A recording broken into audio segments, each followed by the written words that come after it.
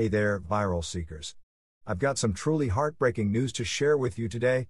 Roy Herron, a beloved Tennessee state lawmaker and former chairperson of the state Democratic Party, tragically passed away at the age of 69 due to injuries sustained in a jet ski accident.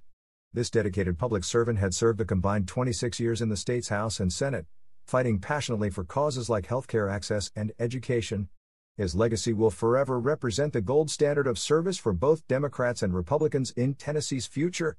Stay tuned for more updates on this devastating loss.